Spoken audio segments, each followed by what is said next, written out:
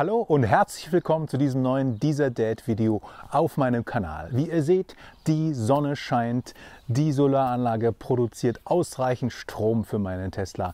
Es ist warm, es ist Frühling, die Blümlein blühen und die Vögel zwitschern und keiner denkt daran, dass wir vor wenigen Tagen noch einen der härtesten Winter tatsächlich hier hatten, den ich tatsächlich auch in meinem Leben bis jetzt hier in Konstanz erlebt habe. Und es war der erste harte Winter, den ich mit meinem Model 3 erlebt habe. Und deshalb dachte ich, vielleicht auch so zum Einstieg in die Frühlings-Sommersaison, damit ihr auch wisst, was euch nächsten Winter vielleicht erwarten könnte mit so einem Auto, fasse ich euch nochmal zusammen.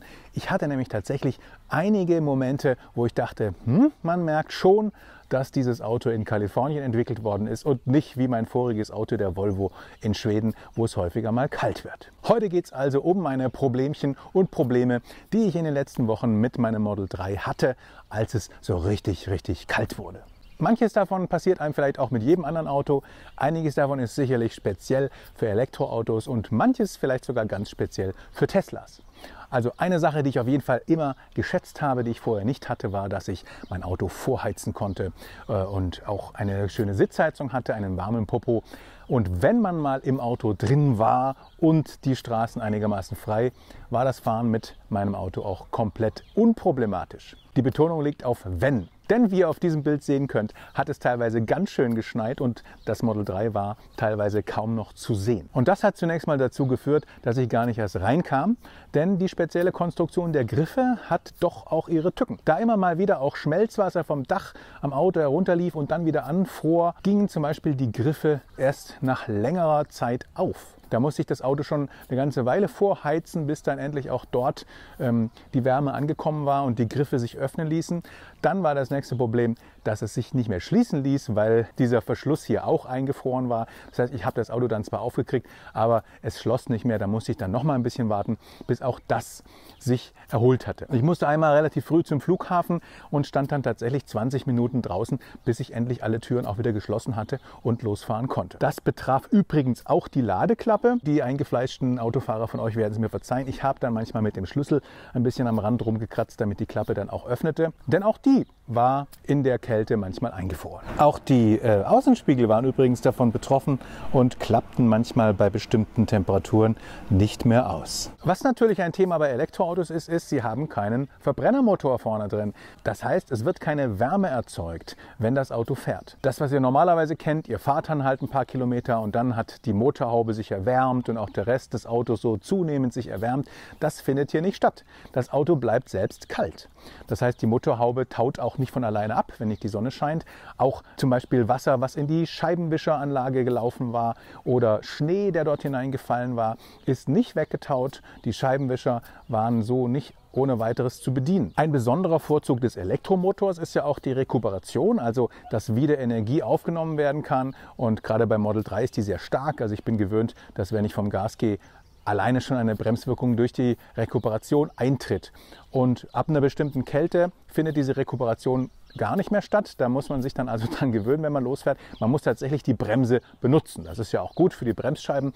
Aber durch die fehlende Rekuperation wird natürlich auch ein weiterer Effekt von Elektroautos im Winter verstärkt, nämlich natürlich weniger Reichweite. Insgesamt haben diese Sachen schon mal dazu geführt, dass im Winter so spontanes Losfahren, wie ich das von früheren Autos kannte, nicht mehr so einfach war. Denn ich musste immer schauen, habe ich überhaupt noch genug Strom, kriege ich das Auto überhaupt auf und ähm, dann kam der nächste Punkt, denn es lag teilweise erheblicher Schnee. Nun habe ich ja ein Model 3 mit Heckantrieb, also ich habe das Long Range mit Heckantrieb, das es eine Zeit lang mal gab und habe dummerweise auch noch einen Parkplatz, der an einem Hang liegt. Das seht ihr hier.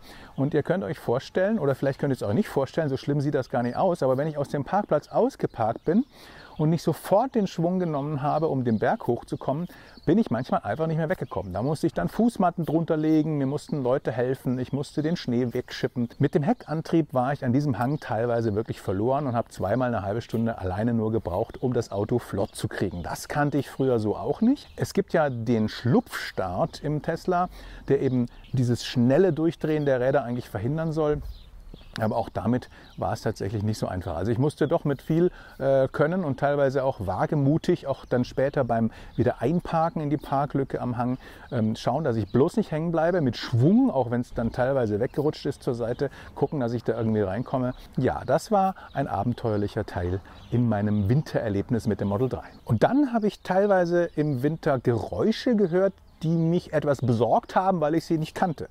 Und zwar zum einen Geräusche, die sich, glaube ich, relativ leicht erklären lassen. Denn wenn Wasser hier oben in diese umlaufenden Spalte beim Glasdach eindringen und dann äh, einfrieren, dann machen die bei jeder Bewegung des Autos Knack- und Knarz- und Krachgeräusche, dass man denkt, man hat gleich dieses Glasdach auf dem Kopf. Das sind also klar erklärbare äh, Geräusche. Was ich interessanter fand, war zum Beispiel bei einer Fahrt durch den Schwarzwald oder eine Fahrt mit großen Höhenunterschieden hatte ich regelmäßig ein lautes Krachen im Unterboden das ich so auch nicht kannte. Ich bin auch schon mal im Sommer auf Berge gefahren, da hatte ich das nicht. Also offensichtlich verstärken sich solche bestimmten Effekte im Winter. Ich vermute, dass sich durch die Erwärmung der Batterie da was ausdehnt, zusammenzieht, Bleche dann anfangen zu knacken, zu krachen. Schreibt es mir in die Kommentare, ob ich da richtig liege damit, dass es sich da eben um kältebedingte äh, Temperaturschwankungen äh, und entsprechend Ausdehnung und Zusammenziehen dieses Blechs da unten handelt. Eine Sache, die bei mir auch mal böse geendet ist, sozusagen, war die Kofferraumklappe hat ihre Tücken und das merkt man vor allem im Winter. Es war ja schon immer mal wieder durch die Presse gegangen, dass wir da dieses, diese Heckklappe haben, wo der Regen dann in den Kofferraum reinläuft. Das wurde aber teilweise behoben. Wenn es nun aber wirklich schneit, dann haben wir wirklich dieses Problem gehabt, dass der Schnee, der auf dem Dach lag, schön reingerutscht ist, wenn man die Kofferraumklappe aufgemacht hat,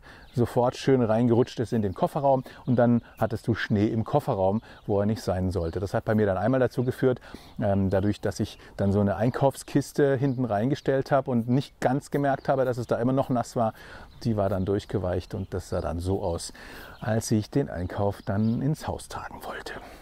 Ja, und dann gab es noch eine Sache, die hatte ich tatsächlich nicht so auf dem Schirm, denn ähm, bei der Kälte kam es immer mal wieder vor, dass der Autopilot nicht funktioniert hat. Und es hieß immer, die Frontkamera sei äh, ja, geblendet oder äh, verschmutzt oder so irgendwas.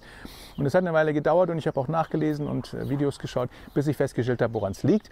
Da vorne, dieser Kasten, in der die Frontkamera drin ist, war durch die Temperaturunterschiede offensichtlich von innen beschlagen. Das heißt, mein Auto hat einfach nach vorne nichts mehr gesehen und deswegen den Autopiloten verweigert. Ich konnte dem Abhilfe schaffen, dann, als ich es rausgekriegt hatte, indem ich die Frontscheibenheizung auf volle Pulle gedreht habe und ähm, dann sozusagen dadurch dieses beschlagene Innen verdunstet ist im Laufe der Zeit und dann kam nach einer Weile auch wieder äh, der Autopilot als Möglichkeit dazu. Ja, so ging es mir im Winter. Ich hatte eigentlich eine Garage zum drüberlegen über dieses Auto. Äh, ich habe nur tatsächlich nicht dran gedacht. Äh, ich wusste zwar, dass ein Winter kommt, ich wusste nicht, dass er so kommt und ich hätte wahrscheinlich einfach nur an den fünf Tagen da meine schöne Garage drüberlegen müssen. Dann wäre vieles davon nicht passiert. Oder ich hätte mir das Video anschauen müssen, das ich selbst mit Owe letztes Jahr gedreht habe. Da hat er nämlich mein Auto für den Winter fit gemacht. Wenn ihr das nochmal schauen wollt fürs nächste Jahr, dann findet ihr das da oben. Ich schaue es mir, glaube ich, auch selber nochmal mal an, bevor dann der nächste Winter kommt. Jetzt freuen wir uns erstmal auf den Frühling und den Sommer. Kommentiert unten gerne, wie es euch mit euren Autos im Winter gegangen ist. Lasst mir bitte ein Like und ein Abo da auf meinem Kanal und seid auch nächstes Mal wieder dabei. Bis dahin, euer dieser Dad.